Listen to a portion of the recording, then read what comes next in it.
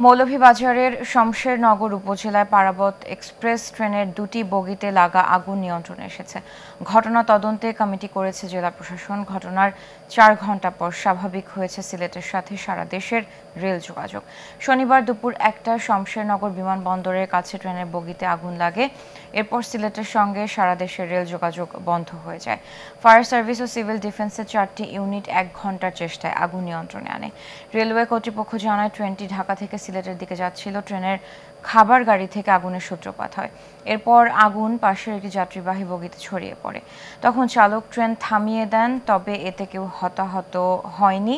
যাত্রীরা সবাই নিরাপদে আছেন। এদিকে অগ্নিকাণ্ডের ঘটনা তদন্তে সাত সদস্যের কমিটি গঠন করা হয়েছে বলে জানিয়েছেন মৌলভীবাজারের জেলা প্রশাসক মীর নাহিদা হোসেন।